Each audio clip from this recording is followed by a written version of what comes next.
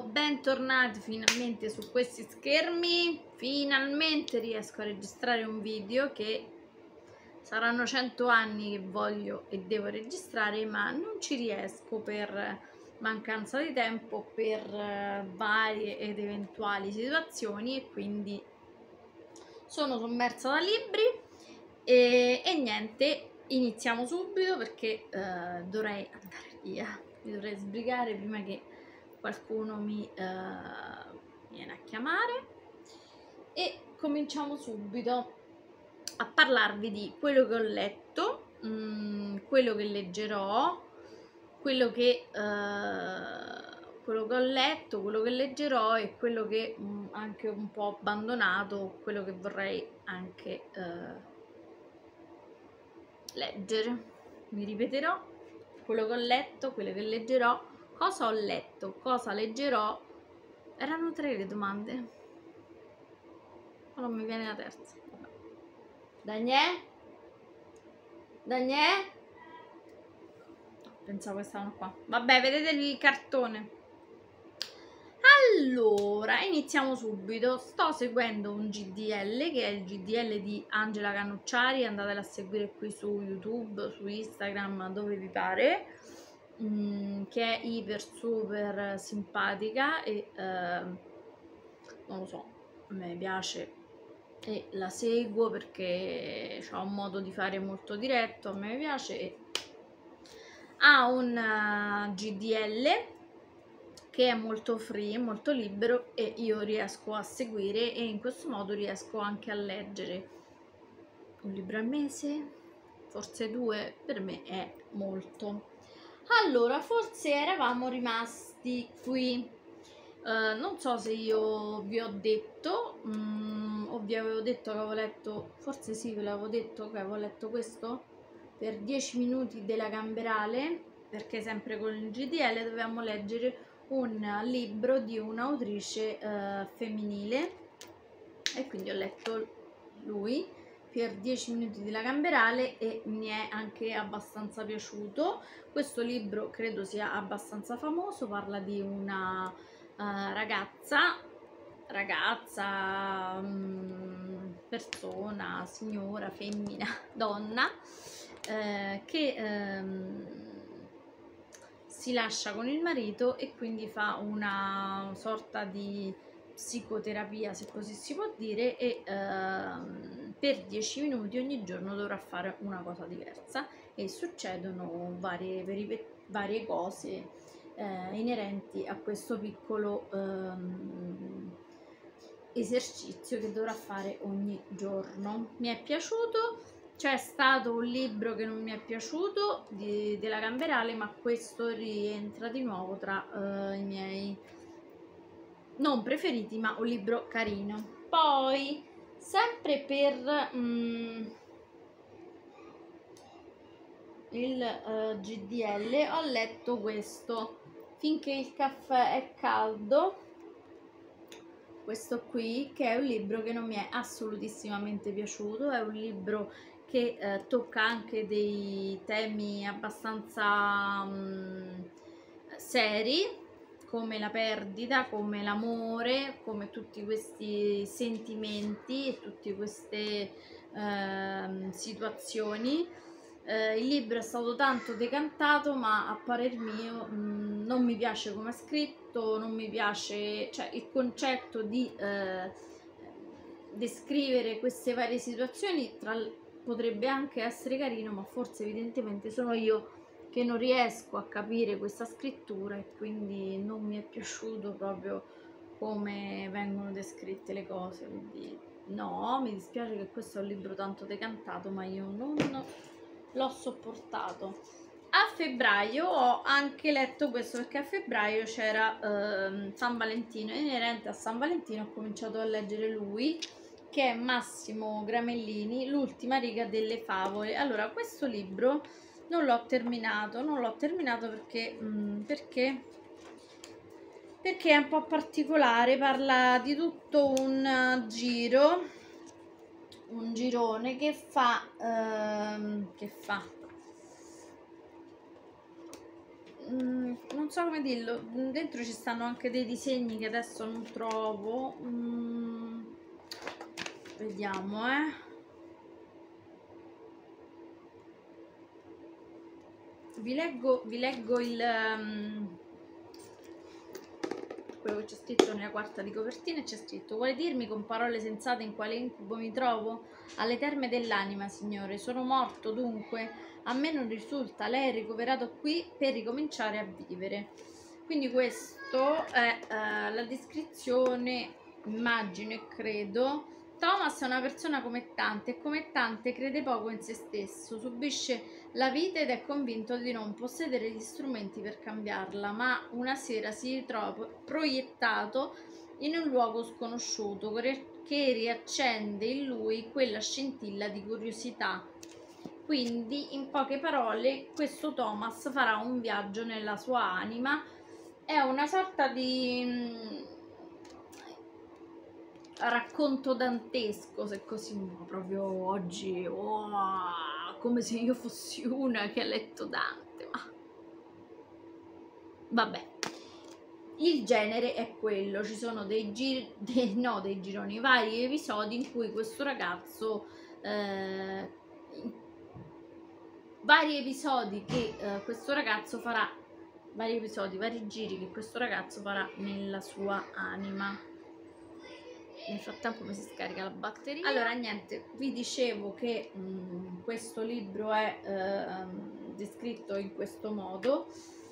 Sono arrivata forse a più della metà non so se eh, continuarlo oppure no. no non ne ho idea.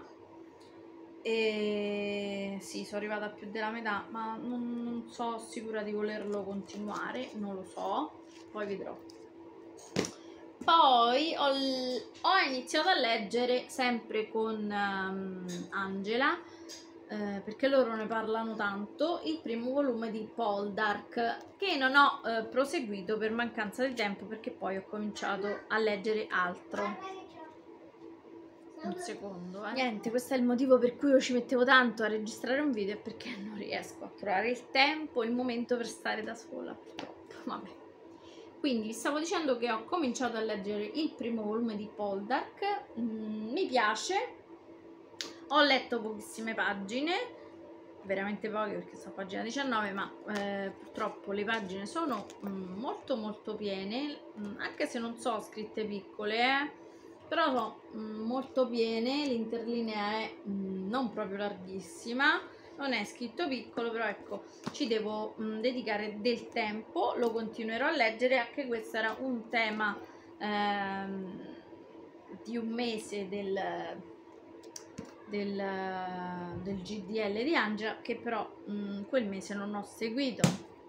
Poi andando avanti ho letto eh, lui di Margaret Mazzantini, Non ti muovere, questo credo che sia iper super famoso, chi non ha visto il film non mi soffermo perché è iper, iper famoso, iper bellissimo, naturalmente poi la mia copertina rigida che mi accompagna, ta ta ta questi secondo me li devo collezionare proprio, e, e niente, ho letto questo, anche questo erano belle paginette, diciamo che mi so... Mm, eh, proprio sfriziona 295 pagine. Diciamo che posso essere fiera di me eh? perché ho letto abbastanza dall'inizio dell'anno. E poi l'ultimo arrivato è lui che l'ho terminato oggi terminato un parolone non so neanche se lo terminerò perché ormai ho scoperto il colpevole quindi bye bye. Elena Molini, piccola libreria con delitto, questo mi è stato tra virgolette omaggiato perché mi sono iscritta al club dei lettori che mi mandano la rivista, è possibile? E ho ricevuto quattro libri, tra cui eh, anche questo e altri due. E questo libro non mi è piaciuto, ovviamente no. È un giallo, ma eh, ci sono delle descrizioni che eh, non servono a niente a nessuno, ma perché? C'è chi frega che quella vi ha lavorato a te, è incinta, che, che elemento è ai fini di, questa, di questo libro? Mm, una storia tra... Ehm, so come spiegarvi. Allora, che caspita sto a fare? Non lo so che sto a fare, vabbè. Che poi mi sono comprata questo ma non lo so usare. che c'è qui che non va? Vabbè. Uh, detto ciò, questo libro uh, è scritto secondo me un po' adolescenziale in alcuni punti, un po' um, è un, un, fritto misto, ma non, non, no, perché poi fa delle citazioni di alcuni libri, riporta delle frasi di alcuni libri, intreccia delle citazioni di alcuni libri che secondo me ai fini del libro non c'entrano perché devi scrivere un libro, scrivilo eh, a modo tuo senza eh, riportare di frasi, cioè non, no, un grandissimo no, no, non mi piace, non mi piace. Per questo mese che è luglio questo, che io naturalmente ho cominciato, ho finito da poco uno e quindi ne comincerò adesso un altro. Il tema di questo mese era um, un libro con la copertina estiva, io però non avevo uno abbastanza estivo e quindi ho optato per un altro libro. Allora, diciamo che in realtà i libri che avrei voluto leggere erano questi due, ok? Con la copertina un po' eh, estiva. Solo che questo eh, leggendo poi mh, la descrizione diciamo a parte che è scritto un po' minuscolino poi le pagine sono altre 300 e la storia era un po' pesantocchia e quindi non era il momento giusto per lui. Un cuore rosso rubino in un freddo mare blu di cui ho sentito anche abbastanza parlare ma non era il suo momento, non lo è. Questo è un altro libro di quelli che mi è stato omaggiati col club del lettore, ma mh, mm, non ne ho proprio mai sentito parlare, anche se credo che forse la storia ricordi un po' il cacciatore di aquiloni e le corrispose su quelle eh, zone. Christine Hanna racconta la, la dis- la migrazione causata dal Dust Brown è una vicenda vincente storia d'amore, di coraggio e di sacrificio che combina un realismo crudo con personaggi emozionanti e una prosa lirica che risuona brillante e vera dalla prima riga. Anche questo mi sembra un po' leggermente pesantello. Poi ne avevo mh, mm, selezionati degli altri avevo selezionato le, eh, il profumo delle foglie di limone che mi sembrava un po' più andante anche se che c'ha del, dell'estivo sì perché questa entra dentro a un'acqua. E poi il limone comunque è un frutto abbastanza estivo. Poi avevo selezionato la ladra di coralli che comunque il corallo è una um, cosa es- un uh, Vabbè, il corallo sta nel mare, ok? E poi questo che è Il silenzio dell'onda di Gianrico Caro, Caro Figlio. Questa è una storia eh, ambientata nella Francia dell'Ottocento, se non erro, sì, quindi non, assolutamente non era adesso il suo momento e questa è una storia un po' toccante. Questo l'avrei anche affrontato, non so perché, ma pelle mi ispirava un po' di più. E poi ero anche mh, mm, un po' tentata a, a, riprendere questa lettura che non mi dispiaceva ma che tentenno a terminare perché è scritta microscopica proprio. E eh, comunque l'isola di Arturo mi sembra un'ambientazione molto estiva e non è detto che non la riprenderò. Comunque detto ciò dopo tutta sta uh, Macedonia. Avevo anche selezionato donne che comprano fiori perché sulla copertina ci sono uh, tutti i papaveri rossi la copertina è tutta celeste e il papavero anche è un fiore che mi ricorda abbastanza l'estate. Non ce l'ho qui da farvelo vedere perché non lo so portato al mare infatti ce l'ho al mare. Eh, detto ciò dopo tutta sta selezione che cosa ho fatto io? ne ho comprato un altro e appunto inizierò lui. E mi sembrava un'ambientazione molto più estiva. Ellie McNamara, Colazione in riva al mare ed è appunto una uh, lettura un po' più leggera eh, perché avrei, avrei bisogno di una lettura sotto l'ombrellone molto più estiva, molto più leggera e molto più tutto.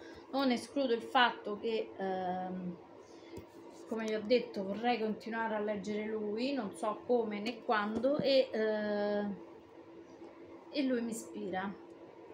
Però leggerò sicuramente donne che comprano fiori perché l'ho lasciato al mare con l'intento proprio di cominciarlo perché era una copertina che mi ispira. E poi il prossimo tema del prossimo mese è ehm, libri, leggere un libro di una casa editrice. Siccome che ho tanti filtrinelli comincerò lui sicuramente adesso siccome io sono in ritardo sempre inizierò a leggere lui per il tema che starà per passare nel mese di luglio. Ma comunque io la vedo una uh, copertina estiva e una lettura estiva perché colazione in riva al mare c'è più estiva di questa. In più ho anche acquistato altre letture estive. Non contenta del mio bottino ho acquistato altre letture eh, sul libraccio sempre mh, mm, sì, sempre della Newton Compton Editori, perché a me questa, quando leggo de, dei libri della Newton Compton, mi risultano maccio, anche se qualcuno disdegna questa casa editrice, forse evidentemente io sono semplice, ignorante, non lo so, però i libri che leggo di questa casa editrice mi piacciono sempre molto e quindi ne ho acquistati degli altri. Inizierò lui e, e niente. Il mio video finalmente l'ho portato a termine dopo tanti, tante peripezie. Sono riuscita a portarlo a termine. E niente vorrei sì continuare a leggere altro. Pure questo le foglie di limone è carino ma pure questo perché? Perché è scritto piccolo? Voi forse non vedrete benissimo però perché? Questo pure pure questo qui è scritto piccolo invece già Enrico caro, fig caro figlio alla fine la sua interlinea è molto più larga quindi questo lo apriamo? Sì, apriamo. Questo c'ha la copertina rigida, come piace a me. Oh, oh. Vediamo, eh. Vediamo di cosa stiamo parlando. Secondo me sì, questo ha un'ambientazione tipo Osseini, capito? Quelle scritture così... Così. Eh, oddio, pure questo no. Forse no, c'ha un una scrittura molto marcata però le pagine sono molto molto piene molto piene oh che carino lilla cioè guardate che caro dio cioè lilla o è grigio? Lilla ho detto lilla vabbè. Bello sì sì. Volete sapere di cosa parla questo libro? Ve lo dico subito. Texas 1934 milioni di persone sono rimaste senza lavoro e la siccità ha distrutto le grandi pianure. Quindi non c'entra nulla con quello che immaginavo. Fate finta che per tutto il tempo non vi ho detto nulla vabbè ma voi guardate i miei video perché sono spontanei non perché io sia una acculturata di libri io li leggo mi piace leggerli mi piace dirvi cosa ne penso io spontaneamente ma non perché io sia una acculturata di libri, perché mi addentro, mi piacciono, ma a fatica riesco a leggerne. e niente, gli agricoltori stanno combattendo per non perdere le loro terre e le loro fonti e la loro fonte di sostentamento dal momento che le coltivazioni avvizziscono irrimediabilmente, l'acqua si sta prosciugando e le tempeste di polvere e sabbia minacciano di seppellirli tutti. Uno dei periodi più bui della Grande Depressione, l'era del Dust Bowl, è arrivato con un, imple- un impla- come un'implacabile vendetta. In questo tempo incerto e pericoloso, Elsa Martinelli, una donna e madre coraggiosa, cerca in tutti i modi di salvare la sua famiglia e la fattoria dove vive l'unica vera casa che abbia mai avuto. Non riesco a leggere perché vedo anche poco. non capisco. Elsa Martinelli. California, una pluripremiata autrice statunitense con oltre 20 romanzi all'attivo, tra cui il bestseller mondiale Lusignolo, che ha venduto oltre 2 milioni di copie negli Stati Uniti ed è stato pubblicato in 30 paesi. Vabbè, mi piace perché c'ha copertina rigida. Detto, detto, detto ciò, io vi saluto, altrimenti sto, sto video diventa infinito e ci vediamo in un prossimo video. Ciao!